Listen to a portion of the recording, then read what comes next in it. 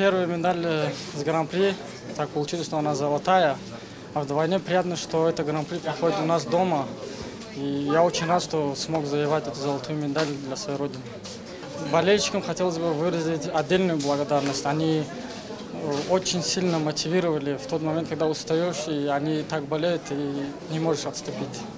Это первая медаль Гран-при у меня. Ну, буду тренироваться еще усерднее, чтобы достичь дальнейших результатов. На этом не надо остановиться. Это всего лишь одна золотая медаль. Еще очень много турниров.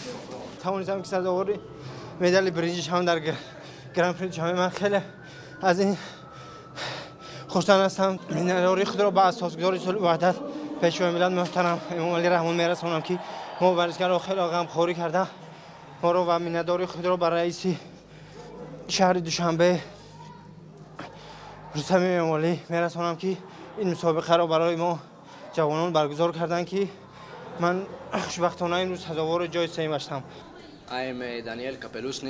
من دانیل کپلوسنیک ورزشگر از اسرائیل در وزن 66 کیلوگرم اشتراک دارم. فضای رقابت خیلی هم سالم به من پسند آمد و به همه ورزشگران مسابقه پیروزی خواهانم.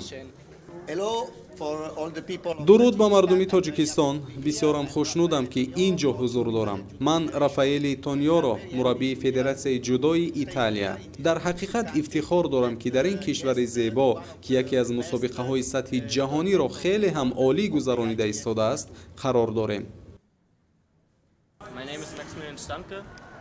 ман мексмен сайта аз германия дар вазни зиёда аз 60 килограмм иштирокчии ин мусобиқа ҳастам баробари ба тоҷикистон ташриф овардан муносибати дӯстона ва истиқболи самимонаи мардум ба ман писанд афтод чорабинӣ ҳам чорабинии таърихӣ хоҳад буд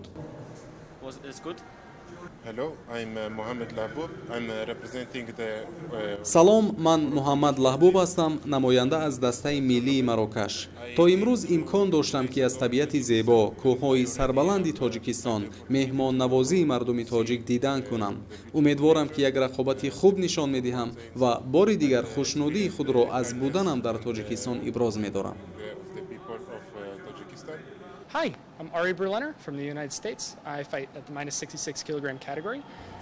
have ман one- ари one on one берлинер today. намоянда аз Uh, иёлоти муттаҳидаи амрико дар вазни 66 килограмм рақобат мекунам Э, тоҷикистонро бо мардуми меҳрубонаш табиати дилрабо ёдгориҳои таърихӣ ва пойтахти зебову гулфишонаш бисёр хуб дарёфтам мусобиқа низ бо сатҳи баланди омодабошӣ хеле ҳам олӣ буд